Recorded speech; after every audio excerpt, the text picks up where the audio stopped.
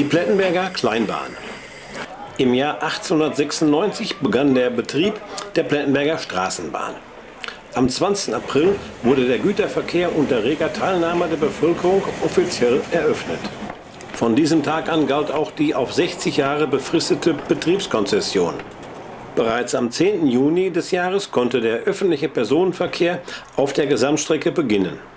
Die Plettenberger Straßenbahn ermöglichte für die Industriebetriebe in unserer Viertälerstadt den dringend benötigten Anschluss zur Musikstrecke. Durch den Bau einer Schmalspurbahn konnte für die Industrien in den engen Tälern von Grüne, Lenne, Else und Östertal konkurrenzfähige Frachtbedingungen geschaffen werden. Im Wandel der Zeit aber musste auch die Plettenberger Kleinbahn den moderneren Beförderungsmöglichkeiten weichen. So kam es am 17. Juli 1962 zur letzten Fahrt dieser Schmalspurbahn.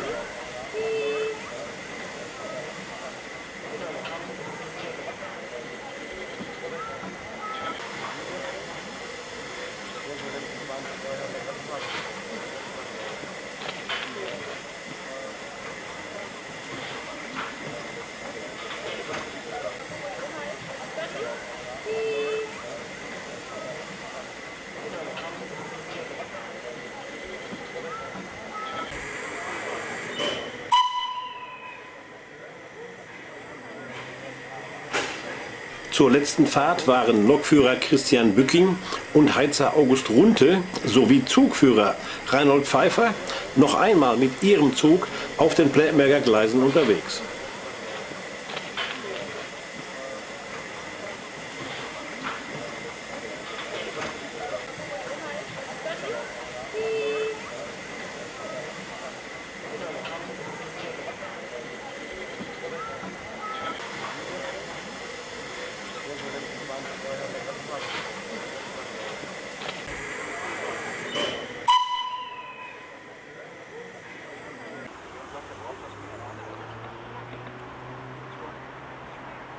Zahlreiche geladene Gäste aus Politik, Wirtschaft, Handel und Verkehr bekamen die Gelegenheit, sich durch eine letzte Mitfahrt nach gut 66 Jahren von der beliebten Schmalspurbahn zu verabschieden.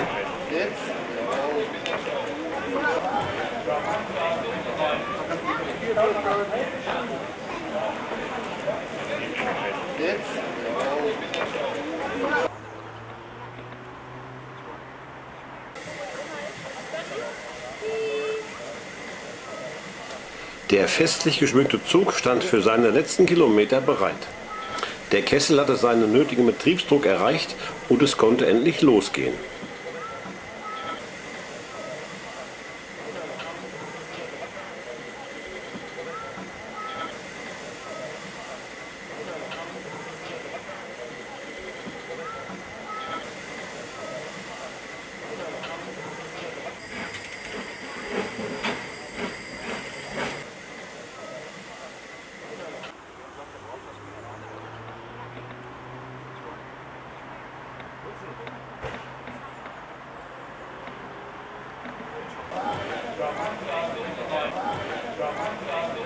Die geladenen Gäste bestiegen den Zug und dann begann die allerletzte Reise vom Betriebshof Oberstadt zum Haus Ostermann in Arringhausen. Zahlreiche Fotografen und Filmemacher waren auch vor Ort, um diesen besonderen Tag einer Schmalspurbahn zu dokumentieren.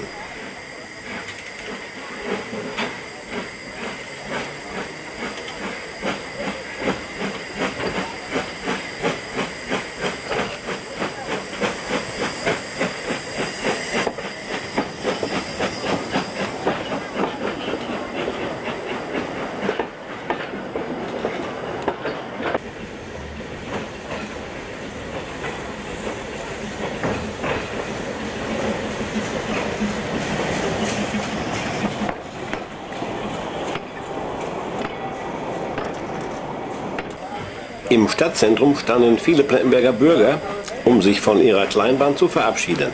Mehr als sechs Jahrzehnte lang sah man diese Dampfrösser auf den Schmalspurgleisen in der Viertälerstadt.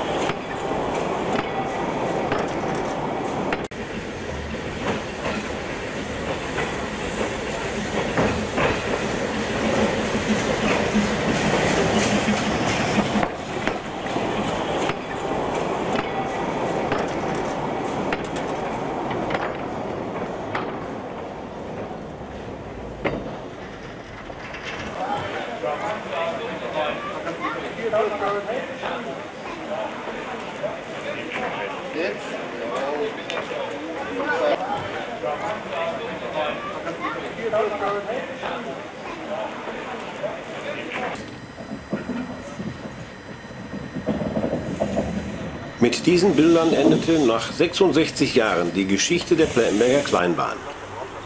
Lok 3, eine Henschel und Sohn aus Kassel aus dem Baujahr 1927 die bis zum Ablauf der Kesselfrist im Jahr 1967 noch im Bahnhof Eiringhausen als Reserve vorgehalten wurde, bekam 1968 durch ihren Verkauf an den Deutschen Eisenbahnverein ein neues Zuhause und verbringt dort seit 1991 nach einer aufwendigen Aufarbeitung ihr zweites Leben.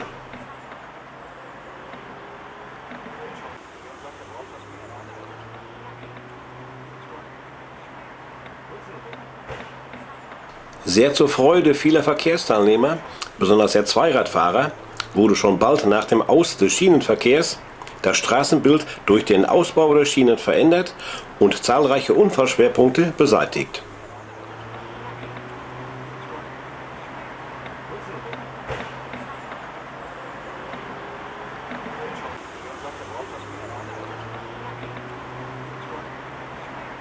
What's